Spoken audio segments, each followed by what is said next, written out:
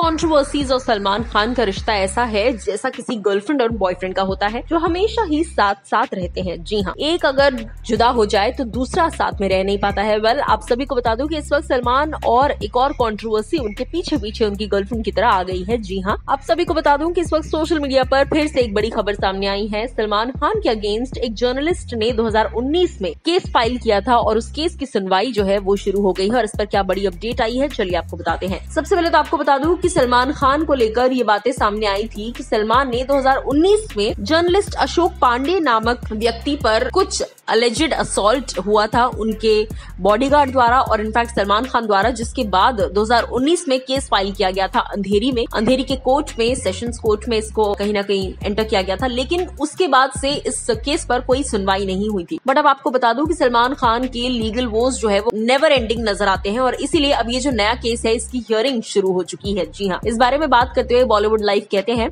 it is about the alleged assault on a TV journalist by him and his on the the streets of the Mumbai. They allegedly got physical with the person in 2019. News agency ANI ने इस बारे में report करते हुए कहा था that Andheri Metropolitan Magistrate Court has issued a process against Salman Khan and his bodyguard Mohammad Nawaz Iqbal Sheikh. ये दोनों ही लोग 5th of April 2022 को समन होंगे कोर्ट के सामने और उसी के साथ साथ both of them have been charged against section 504 that is intentional insult with intent to provoke breach of the peace जी हाँ और उसी के साथ साथ 506 क्रिमिनल इंटिमिडेशन धोखाधड़ी से ही सही या गुस्से से ही सही, लेकिन एक इंसल्ट जो है वो उस जर्नलिस्ट की हुई, जिसके बारे में ये केस पूरा का पूरा रखा गया है। और हिंदुस्तान टाइम्स के मुताबिक आपको बता दूँ that metropolitan magistrate R R Khan ने इस बारे में बात करते हुए कहा that the matter was referred to D N Nagar police station for investigation under section 202 for CrPC postponement of issue of the process और इसी के साथ साथ ये पूरा का पूरा मामला जो है, इस बारे में बताते हुए डिटेल में उन्होंने कहा है दैट पुलिस के पास एज सच कोई पॉजिटिव रिकॉर्ड नहीं है। Positive police report and other material